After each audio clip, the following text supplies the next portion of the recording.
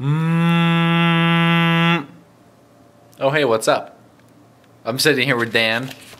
Who? Is that looking at you? Oh, no. it isn't at all. I there we go. Great.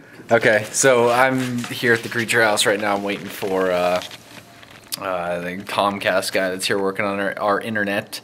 Uh, the other computer that I usually work on, it was that had the wrong bracket on for the heatsink and stuff, so that uh, shut down on me, and I have to wait for the bracket to come in, which should be today, but I don't have time to do it.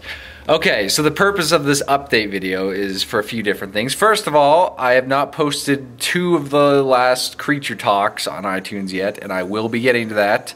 I am just in the middle of a very, very busy week, so I don't really have time to do that, but I have them downloaded. So I will get to that as soon as I get the chance. Uh, the other thing is, I want to tell everybody about the shirt store that we opened for the creatures. Uh, we haven't really talked much about it. Z put a speed drawing up on the hub and it links it. So I'll link that in the description. Um, and the third thing was about just how busy I'm going to be this next week. And probably the only thing you'll see on my channel is Mass Effect, which is not a bad thing, but you know that's that's all I can put up right now. I recorded a ton of it.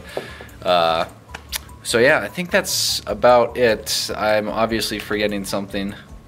Damn, what did I forget? I forgot. Street store. Shirt store, Mass Effect. Mass Effect, iTunes stuff. Uh, I gotta switch You arms. didn't, you didn't confirm with me what you were talking about before you started. I had well, I had it in my mind. Oh well, you know if I if I remember it sometime within the next you know few hours, I'll put it in the description. How's that? Uh, so I will see you guys later. Have fun watching plenty of Mass Effect 3.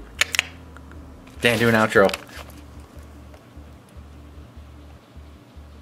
Yo, was that ketchup?